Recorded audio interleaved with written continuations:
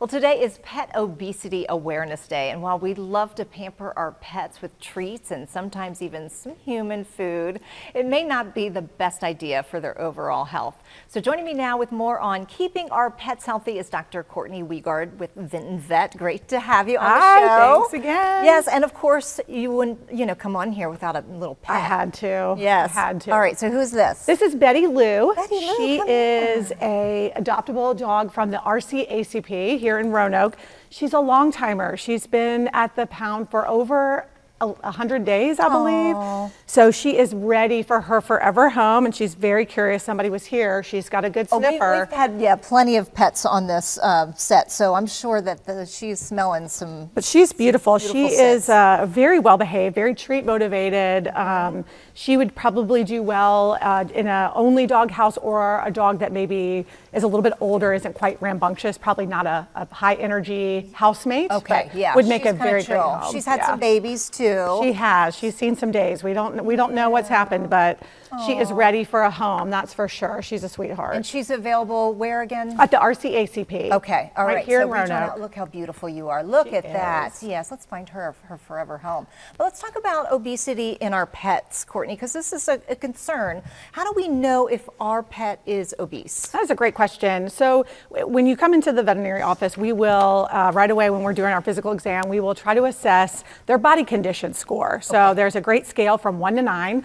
One is way too skinny, almost skeleton, and oh, Okay. nine, nine is obese, like morbidly obese. Okay. So, what you want to be is comfortably in the middle, somewhere between four and six. And Betty Lou here happens to be about a five, which is perfect. She is in perfect body condition.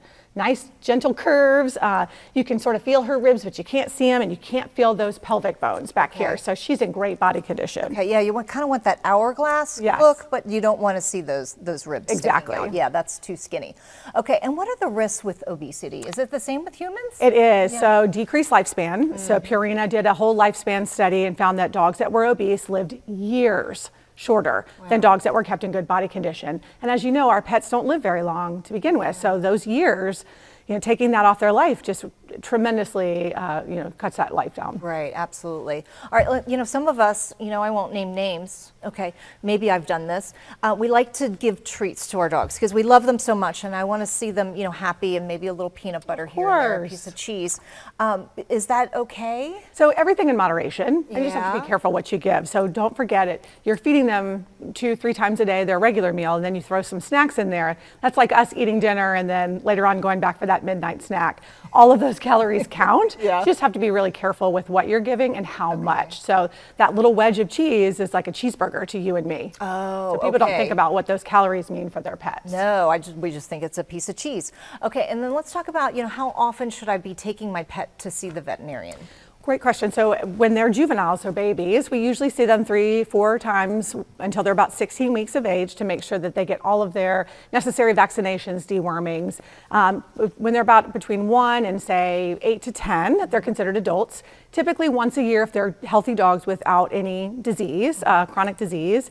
Um, and then when they become a senior or geriatric, we really like to see them at least twice a year or semi-annually. Okay. Because we can pick up on diseases or other issues quicker that way because these guys are really good at hiding their illness. Uh-huh. So those uh, regular appointments are very important Oh yeah, yeah. They don't they don't talk to us unfortunately, so that's important. And it's also the law that you should go see your vet, right? It is. So we cannot prescribe medication. This is a state law in Virginia without seeing your pet within a calendar year. So it has to be within 12 months. Mm-hmm. We have to have established an exam, a wellness exam or some sort of exam.